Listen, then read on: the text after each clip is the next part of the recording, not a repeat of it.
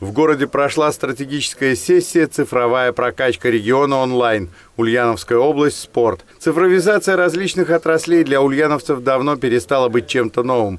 Многие документы и платежи оформляются онлайн. Спортивная отрасль в Ульяновске начала переходить на цифру в период пандемии, что оказалось именно в этот момент очень удобно и жизнеспособно. Федеральные эксперты цифровизацию по-ульяновски оценивают достаточно высоко.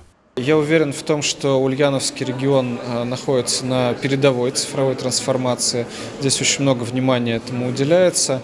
И э, я думаю, что все получится у региона и все будет хорошо у вас. Для спортсменов и судей цифровизация отрасли даст возможность присваивать категории и разряды в онлайн-режиме, без выездов в федерацию и бумажной волокиты, организация соревнований, межрегиональные связи – все это с помощью цифровых технологий становится простым, быстрым и понятным.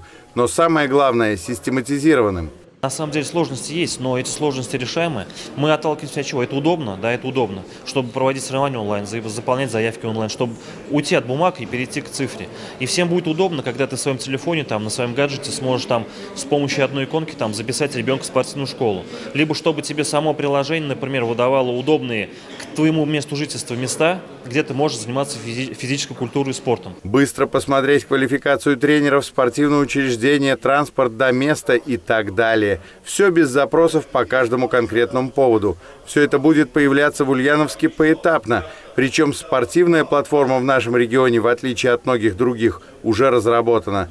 За день работы сессии спортсмены, тренеры и спортивные управленцы наметили четкий план дальнейшей цифровой трансформации спортивной отрасли региона.